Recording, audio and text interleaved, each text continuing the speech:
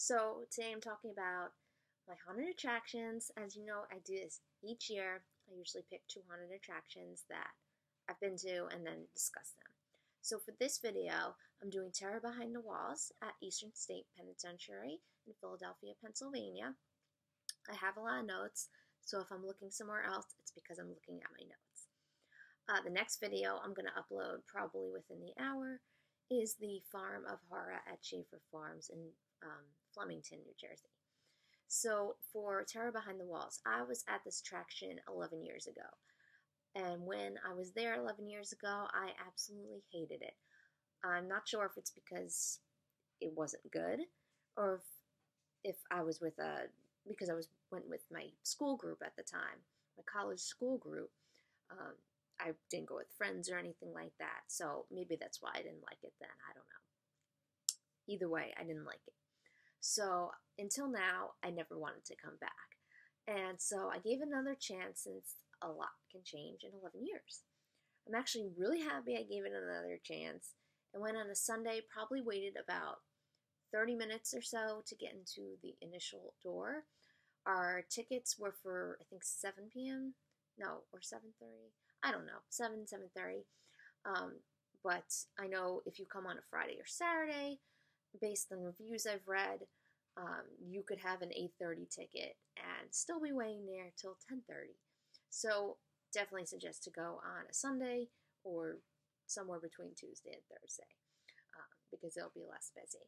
So we went on a Sunday, waited about 30 minutes to get inside the initial door, which is not bad at all. Uh, I must mention that 11 years ago, they did not have that ghost bus that you went on, and if they did, I didn't use it but they have it now, and it was a great addition because it makes parking super easy, super pickup, no, super easy pickup, super easy drop off.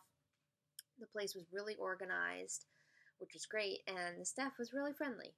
Probably waited about five minutes to get in between uh, each attraction, or get in each attraction, which was pretty good. Again, it's a Sunday. If you went on Friday or Saturday, you're not going to get that. You'll probably be waiting quite some time in between each attraction. Did I think this place was scary? No. The setting is scary. To think about what it was back then is scary, but the attraction itself was not scary. They had some awesome props, uh, some awesome makeup. I like the fact that they put blood on you if you wanted it on you. Um, you can get the glow the glow necklace to go in and get them to touch you and everything like that. I didn't get that, but I heard it was good. Um, the only and the actors also seemed like they were actually having a good time. Some of these haunted attractions you go to, they're like on their phone and they're like talking to their other friends or something like that. Uh, in this place, they actually remained in character. I found the only part of this attraction to me that was completely pointless, I believe, was the infirmary I don't know if there was supposed to be more people in there. There was only one person in there the entire long hallway, at least when I went. Um, but either they should get more people, or I would suggest not counting this as an attraction because that was not an attraction. That was just a long, creepy hallway. the other downside to me was the amount of people they put in at once.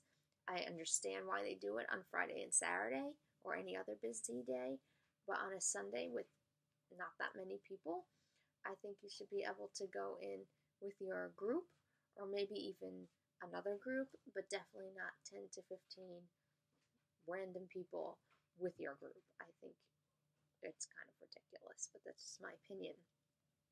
After the whole thing, I did the speakeasy, which they definitely didn't have 11 years ago. And again, if they did, I didn't do it. It was additional $10, included a drink, and you got to see different cells that were decked out in certain things. And it was a nice addition overall. I think it is 21 plus, but I don't see why since they have soda and nothing in there was inappropriate in any way.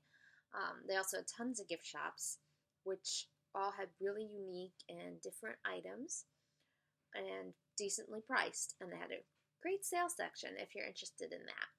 So, all in all, much better than it was, better than 11 years ago. Would I do it again? Yes. uh, but I would wait a few years. It's it's not an attraction that I would want to go back to every year. There's some attractions I love going back to every year. This is not one of them. I would not go back to this every year. But it was fun for what it was, and it was definitely better than it was. And overall, happy that I made the decision to check this place out again. And I would recommend it if you're in the area um, or from like surrounding areas. I would check it out. But that's my review for Terror Behind the Walls, and next up you'll get the review for a uh, Farm of Horrors, which you will see probably within the hour. So if you have any questions, just let me know, and have a good day. Bye!